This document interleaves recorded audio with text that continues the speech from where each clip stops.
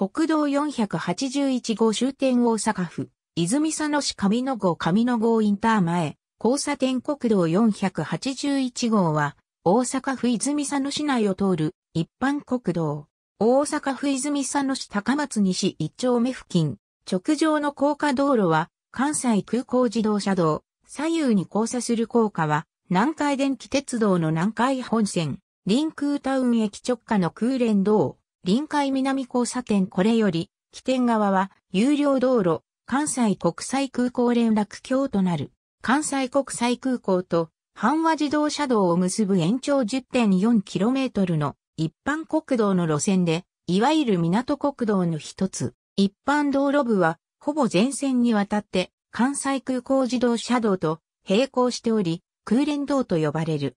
起点の関西国際空港からリンクジャイクション間は自動車専用の有料道路である関西国際空港連絡橋として供用しており、高速自動車国道である関西空港自動車道と直結する。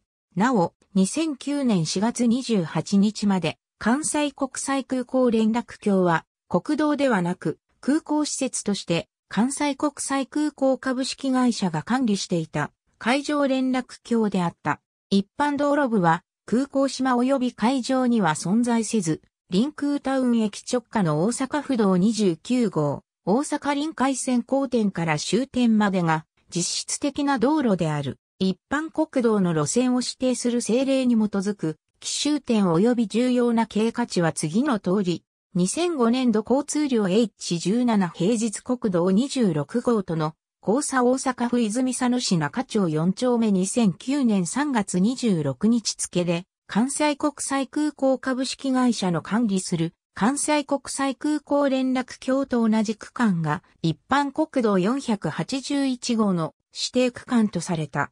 2009年4月29日付で国土交通省と西日本高速道路株式会社が購入し、一般有料道路関西国際空港連絡橋となり、国道481号に編入された。一般国道の路線を指定する政令の最終回整備である2004年3月19日の政令に基づく表記。